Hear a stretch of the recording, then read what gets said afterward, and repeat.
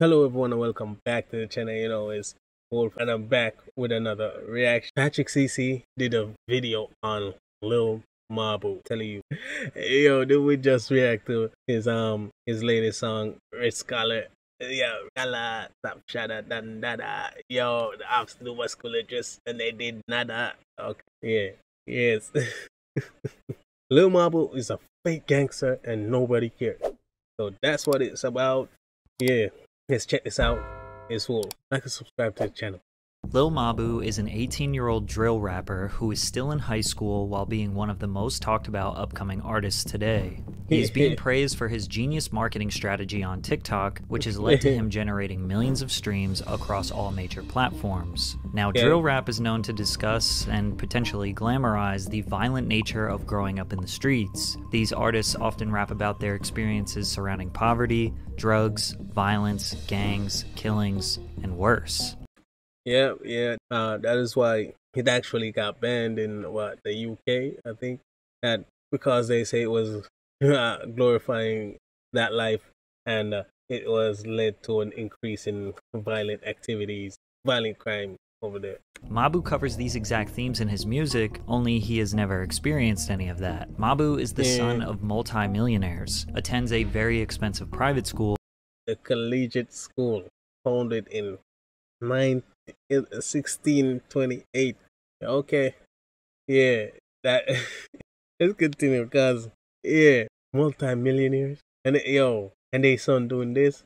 Well, yeah and has never experienced hardship like his drill rap counterparts. However, what makes Mabu so beloved is that he's embracing his privilege and leaning into it for jokes. 50% of the people think it's funny that he pretends True. to be a gangster, the other 50% think it's corny, but they both stream his music regardless. Although Mabu is being considered a marketing genius for these efforts, nothing he is mm-hmm. doing here is new. However, his controversial rise does expose the music industry Yep, yo, yo, his controversial rise does expose the music industry, and he's one hundred percent correct, guys. Basically, he's he, he's going the six nine route, as in the trolling aspect. But six nine, he actually instead of just keeping it a trolling, he actually out here fronting as a real gangster while being fake and getting into real gangster problem.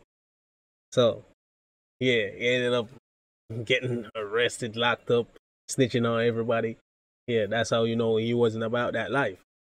And he presented as being about that life. That's why no, no one liked it. But Marble, on the other hand, yeah, he he's, he raps about that life, but he doesn't do that in real life. So he's not putting himself in a six nine situation. Although the method he's using to rise is somewhat similar for what it truly is, and some people are not willing to accept it.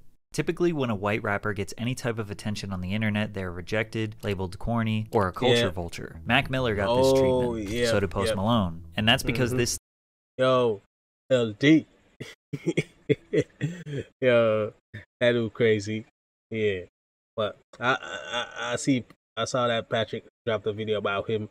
Yeah, I'm a, I, I need to check that out too a lot of, a lot more Patrick CC reactions coming to the channel. So let's continue. What do you say about horny or a culture vulture? Mac Miller got this treatment. So did Post mm-hmm. Malone, and that's because this Mac. stems from a long history of white artists stealing from black artists. Now combine that with a white rapper yeah, who is also making music that is inherently violent, adjacent to street life and gang life. One in the head in case my ops dissin'. I got goons by my side. Cock one, make the block run. Ops duck. People immediately question the validity of Mabu's claims based on his appearance. We saw yeah. the same reaction with drill rapper Max the Demon. Turns out he was actually as real as it gets when it comes to the stuff he raps about. The difference yeah. between uh, Max and Mabu is, well, Mabu is kind of exactly who you think he is. Yep. Stay hydrated. Now, there are some rumors circulating that Lil Mabu is the son of a record label executive named Jeffrey Vaughn which is eh. false. Mabu was labeled an industry plant as soon as he blew up, which is pretty common for most. labeled an industry plant as soon as he blew up. Yeah. Most artists that seemingly pop up out of nowhere. However, Mabu's real name is Matthew DeLuca, which can be confirmed with this video that leaked of him promoting a non-profit organization in his community.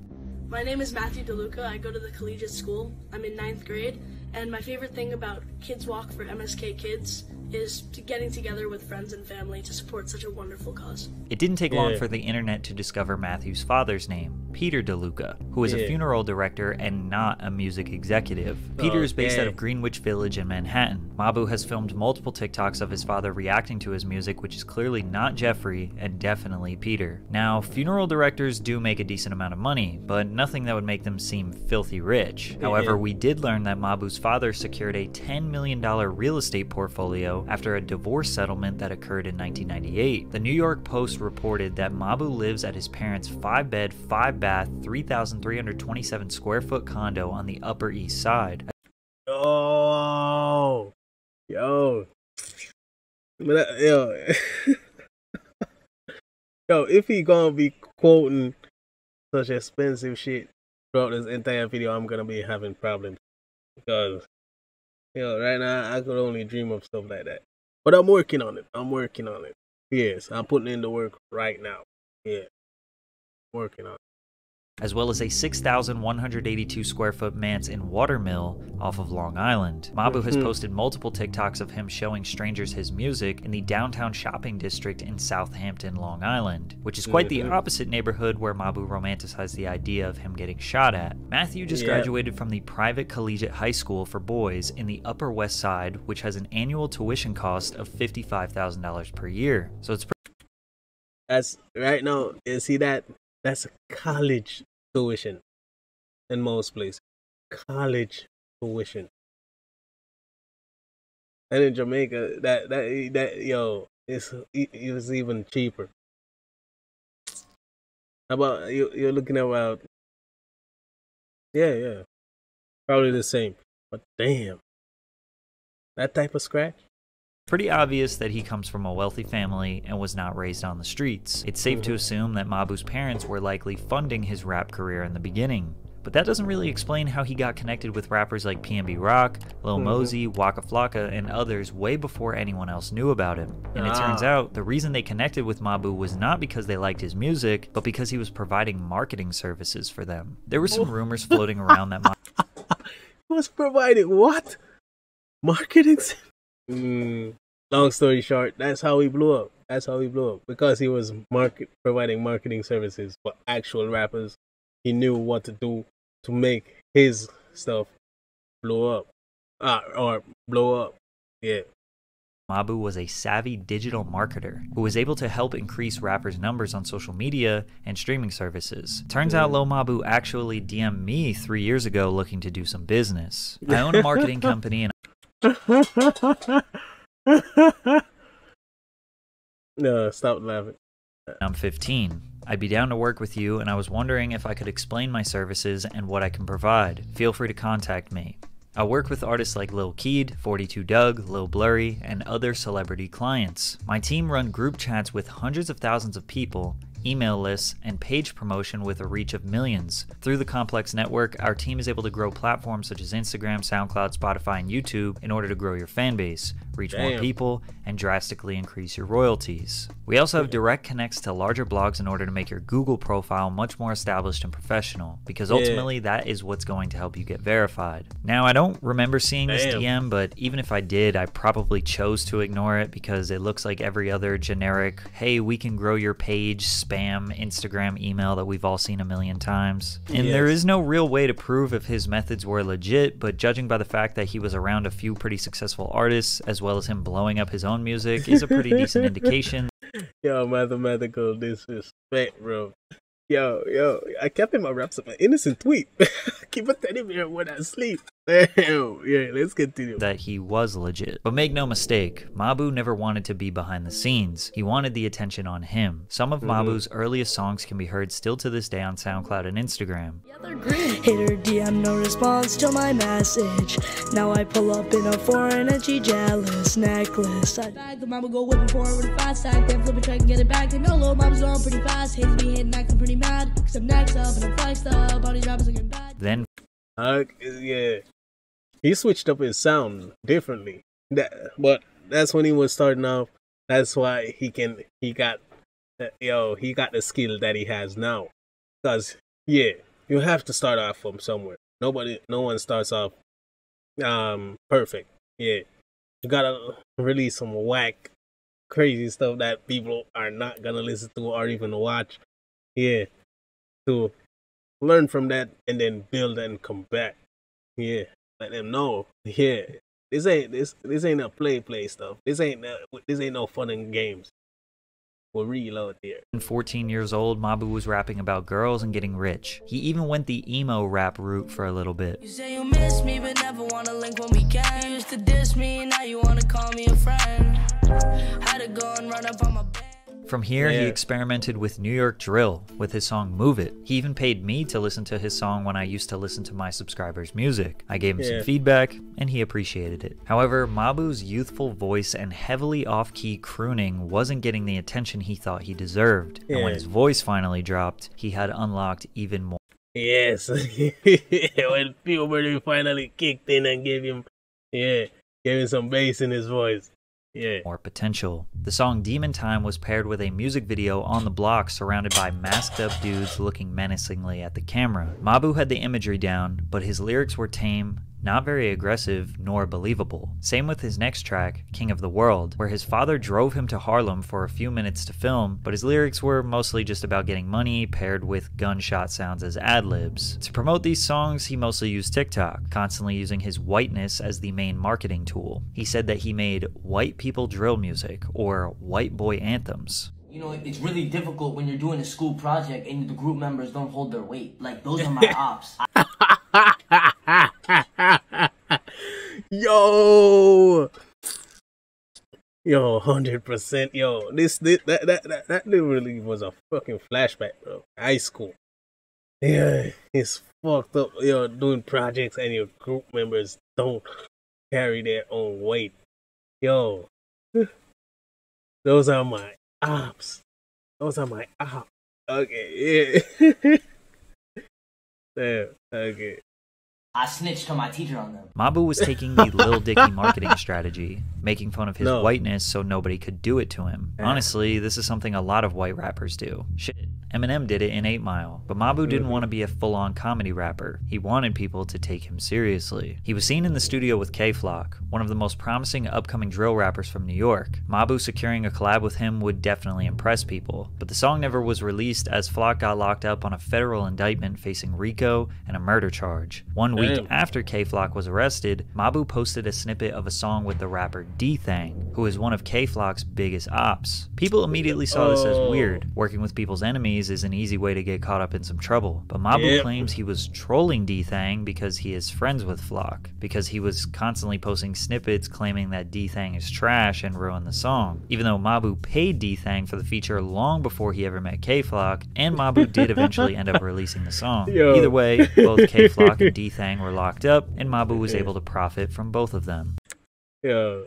Yo, we were gonna make enemies like that, dog. But he, he but for real, he wasn't about that life. It wasn't about that life. He was just about that work, yeah, and that music. From there, Mabu linked up with another Bronx drill rapper, Sha EK, who is another enemy of Kay Flock. Maybe Mabu didn't know, or maybe he didn't care. Then on the yeah. track Everyone K, Mabu dissed one of Shah's op, Yus Gz, labeling him a rat and threatening him multiple times. Lil Mabu yeah. making it out of the suburbs with this one, Bro making it into the hood with this one. It yeah. seemed like Mabu was just trying to insert himself into a beef for status, because he has no actual ops in the Hamptons. People were confused how he was getting to collaborate with all these artists despite them being enemies. He could have been providing digital marketing services in exchange for a feature, but he was likely just paying them. He has no affiliation to any block or gang, so he could just work with them individually, then safely go back home to the Upper East Side. One Yep, for real. That that's true. That's true. But damn, yo, most people looking at this are upset with it, rightfully so. But if he does get big enough, I'm telling you, people are gonna be paying him for a feature because he paying for, he, he paying for these features now. Get his name out there to get the buzz going to do his marketing thing. I'm telling you. But yeah, you pay attention long enough, you're gonna be see you're gonna see him with some names you you never expected. Hundred percent. Continue. One thing about rappers is they all have a price. 5K, 10K, 20K mm. would be nothing for Mabu's dad to invest in his son's new hobby. After all, his dad was helping him a lot with his TikTok marketing. While rolling out his song No Snitching, Mabu's father fake reacted to the song, then dissed 6 9 and said, We making it out with this one, joking about making it out of the hood. But the thing that really made him Yo, yo, you see all that that handshake? Yo, how many times do they have to practice that? I'm telling you, any anytime you have a secret handshake, you have to practice practice it a lot. So you know, get it get it popping him go viral was the music video, where he put a red laser beam on a knife while rapping about never snitching. The song stole the late King Von's iconic flow from Took Her to the O. This video got 20 million views on TikTok and was most people's first introduction to the rapper. His follower counts exploded, and now all he had to do was just be consistent. He continued yeah. to make fun of himself for attention. Like, what you got on you? Like, oh, he got the now. Delete that. These are the things that push my buttons. Why would you post that with no clarification whatsoever? It was a fake firearm, and now I might have to take legal action. But his next song was.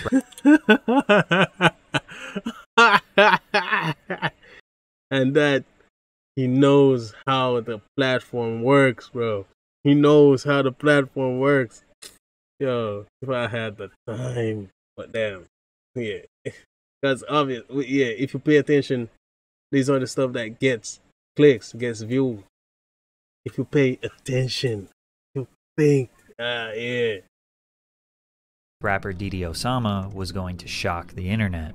Mabu and Didi made a melodic trap ballad that transitions to a gritty drill track midway through. The transition features a dramatization of Lil Mabu getting shot.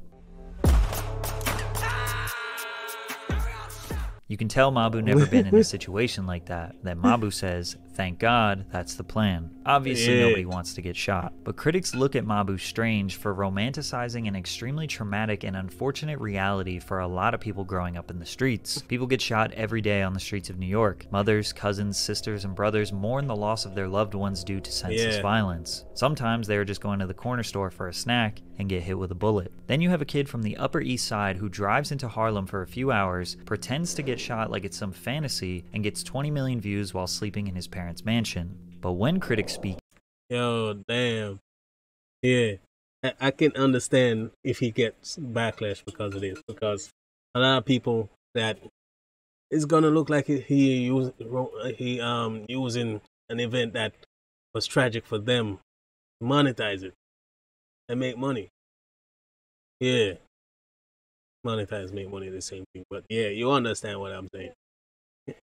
Out, the common response is, You mad he making money? It's a song, yeah. bruh. Calm down. The reason why Mabu can do you this is very simple. People don't care. People do not care about yeah. a rapper's authenticity anymore. Slim Jesus blew up in 2015 for being a white drill rapper. People thought he was actually a savage that looked like an innocent honor roll student. When Slim openly admitted that he just liked the music and didn't actually live that life, his career was ruined for not being authentic. Four years later, Lil Tecca blew up, rapping about having twin Glocks, but openly admitted that he was not about that life. I don't have no straps for nobody. This time, a new generation.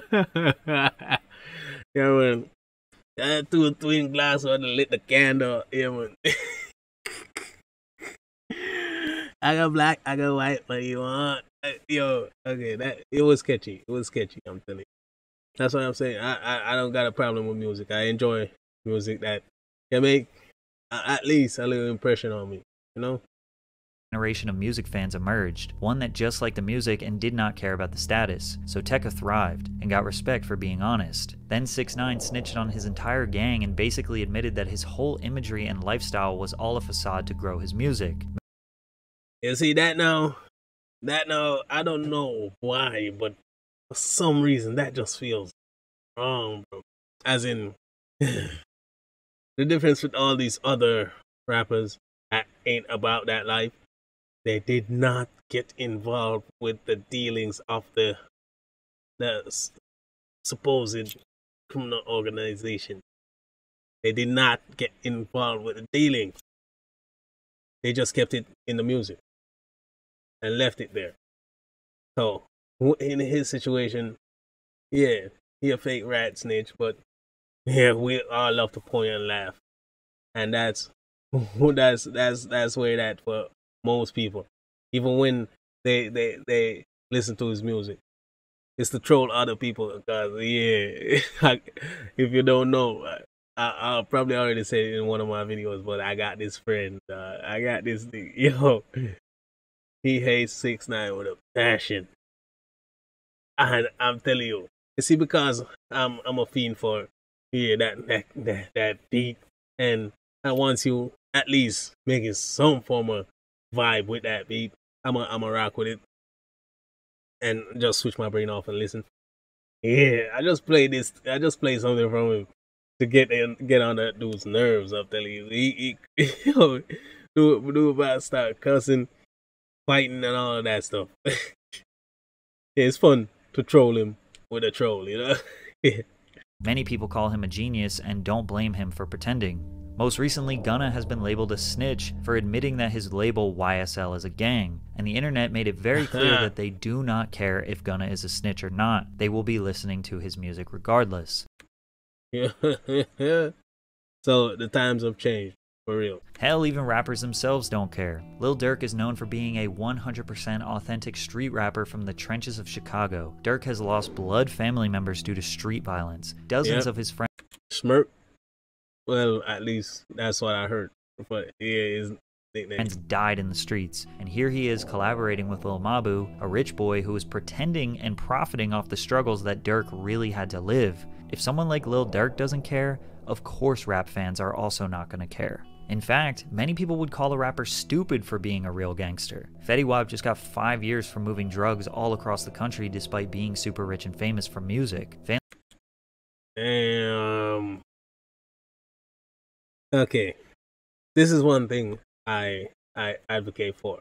You can you can hate me if you if you if you want or or not. Yeah, if you were involved in such dealings before you got rich and famous off the music, you leave that shit alone once you found that stability. If you want to be involved, that's your choice. You can just have a middle have a middleman to wash your hands off all the dealings, but it still can't be traced back to you. This is not advice. Okay and it's stupid to still continue to deal in those things once you make it. You don't need the risk, and the risk far outweighs the the rewards. I'm telling you. In Fetty Wap's case, I'm telling you, this dude, and I got the soda. Yeah, Remy Boyz, they know us.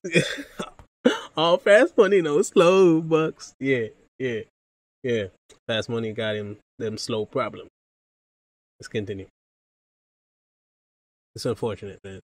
Dude, crazy. And I sometimes pop back and listen to some of his songs. I'll tell you.